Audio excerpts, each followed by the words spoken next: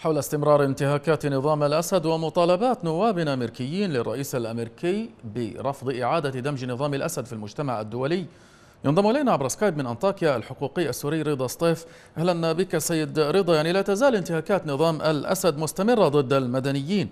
وبحسب المرصد السوري لحقوق الإنسان فإن القتل تحت التعذيب مستمر ما أفضى إلى قتل 105 آلاف في الفترة ما بعد الثورة.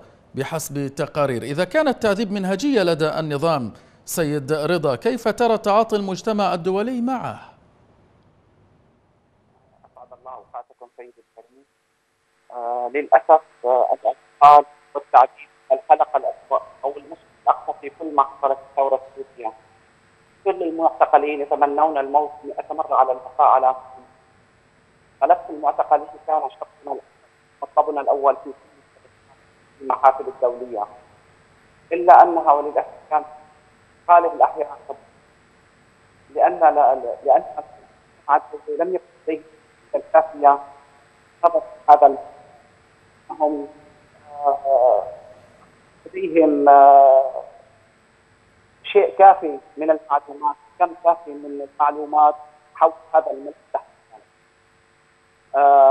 رغم ما تم من تحقيقات رغم ما تم دراسات حول العزيز الممنهج وحول القتل وحول الإنسانية التي تحصل نعم. إلا أنه كان موقفهم وذاته لم يتغير بداية الثورة وحتى هذه اللحظة الرقم الكبير الذي يشمل أعداد من قضوا في سجون النظام في دمشق بحسب تقارير وقد تحدثت عن أعداد أخرى غير التي وردت في هذه التقارير. إلى أي مدى هذا الرقم يمثل الإحصاء الحقيقي لعدد من قتل في سجون الأسد؟ تفضل.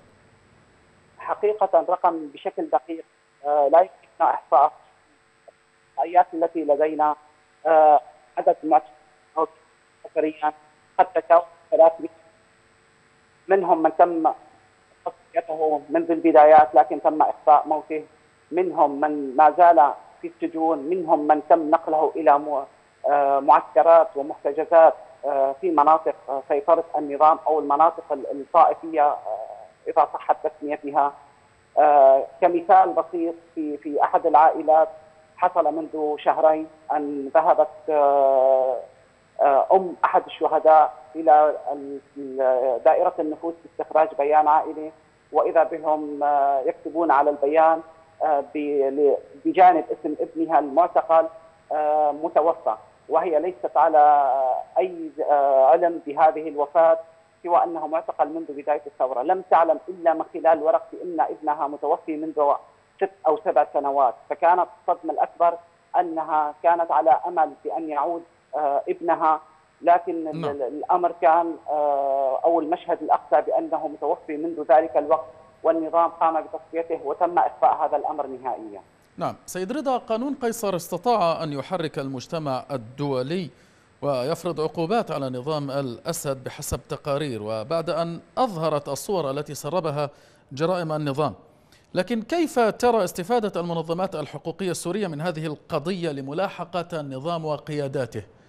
هل استثمر أو استثمرت المنظمات الحقوقية قانون قيصر كما يجب؟ حقيقة تفائلنا جدا في محتوى قانون قيصر إلا أن للأسف كانت هناك دقات في تطبيق هذا القانون الواقع حتى الولايات المتحدة التي هي من تبنت القانون ومن أصدرت كان لديها لن أسميه تواطؤ ولكن تهاون جدا في تطبيق هذا القانون. نعم. الأمر الذي دعا كما ذكرتم في وأسلفتم في التقرير رؤساء ونواب لجنة الشؤون الخارجيه في مجلسي النواب والشيوخ للطلب من إدارة بايدن للمثول أمامهم للتحقيق في إدارة في إدارة بايدن للملف السوري. وحقيقة ما يحصل من تطبيع مع هذا النظام والردع لباقي الدول التي تفكر في التطبيع. وأضيف أيضا نقطة أخرى كانت من ضمن هذه من ضمن هذا الكتاب. أنهم طالبوا بالتحقيق في الأموال التي يجنيها النظام من خلال أموال المساعدات الإنسانية نعم. إضافة إلى الأموال التي يجنيها من خلال تجارة الكبتاغون نعم ووضع شيء رادع لهذا النظام الذي يتم دعمه في العملة الأجنبية أو النقد الأجنبي من خلال هذه الأمور رغم وجود قانون قيصر نعم. ورغم وجود العقوبات الحادة على الورق لمن يتعامل معه أو يساعده في التخلص من هذه العقوبات. هل ترى أن الدعم الروسي والإيراني للنظام السوري استطاع هذا الدعم أن يخفف اقتصاديا من أثار العقوبات على الأسد؟